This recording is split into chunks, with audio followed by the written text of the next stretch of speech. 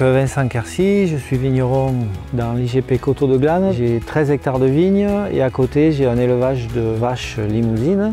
Cépage principal c'est le merlot, après on a du gamay, on a du ségalin, du malbec et après en blanc donc on a du chenin et du chardonnay. On est sur des sols argilo-calcaires, sur un petit coteau face à la vallée de la Dordogne. 100% de la production est vinifiée dans la coopérative Les Vignerons du Haut-Quercy. On est 7 vignerons, 50 hectares de vignes. Mon objectif c'est quand même d'être un petit peu moteur aussi dans notre petite zone de production. Je me suis donc fait certifier HVE il y a 3 ans maintenant.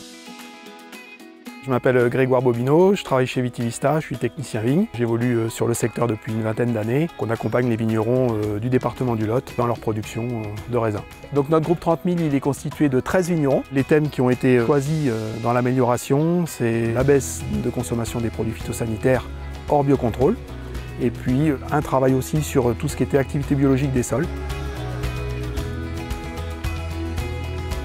Sur les phytos, depuis 2008, je m'étais équipé d'un pulvé face par face. Je faisais déjà de la réduction de dose.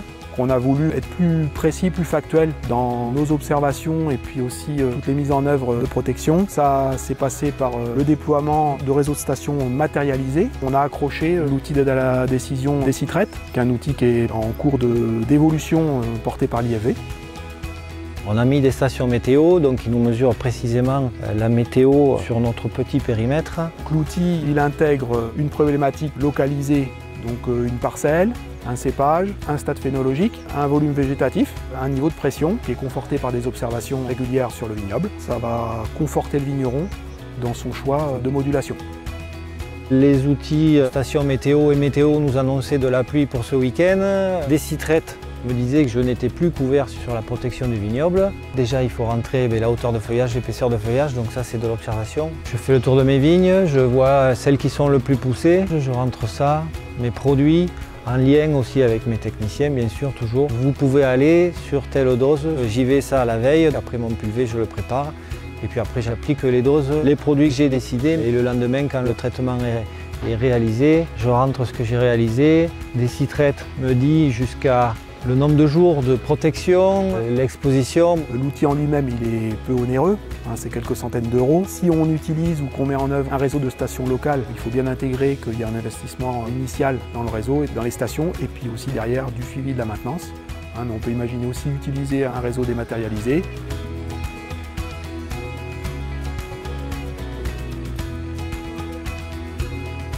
L'intérêt pour les vignerons, c'était d'améliorer leurs pratiques. Dans le choix et dans le référencement des produits, ça permet de se projeter en fonction des travaux à mettre au vignoble, de la bonne euh, mise en œuvre et le bon cadencement hein, en fonction des produits utilisés et de la météo à venir sur ce qui va être fait et mis en œuvre euh, au vignoble.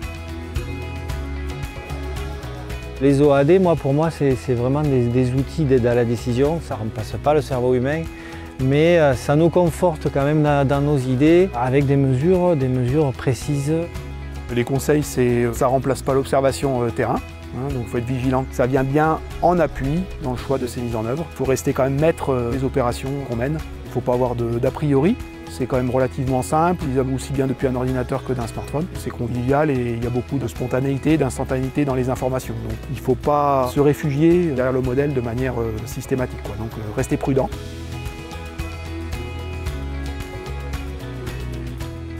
Aujourd'hui, ben, les résultats obtenus par le groupe, c'est euh, moins 33% en consommation phyto hors biocontrôle. Initialement, euh, un seul était investi dans la démarche agriculture biologique. Aujourd'hui, 100% de l'effectif est engagé dans une démarche de certification. Donc nous sommes aujourd'hui à 7 vignerons bio, 6 engagés en haute valeur environnementale.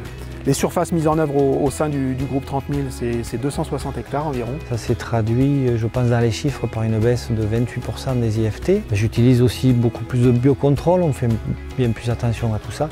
La réduction de dose, c'est pareil, petit à petit, les pulvés face par face sont arrivés. On prépare l'avenir aussi, on expérimente des nouveaux cépages, des porte-greffes qu'on n'avait pas l'habitude d'avoir ici. Mais dans un futur aussi, il y aura les cépages résistants. Les vignerons qui constituent aujourd'hui le groupe 30 000 chez Vitivista Quercy, c'était déjà des gens qui avaient une démarche euh, volontaire, plus avant-gardiste, soucieux de leur image et puis de l'image de la profession aussi. Et donc c'est vrai que j'étais en demande d'expérimentation, d'avis, de connaître un petit peu ce qui se fait ailleurs, chercher toujours à progresser, d'améliorer aussi euh, notre impact sur la biodiversité. Et donc ce groupe 30 000, moi, l'idée m'a beaucoup emballé de suite.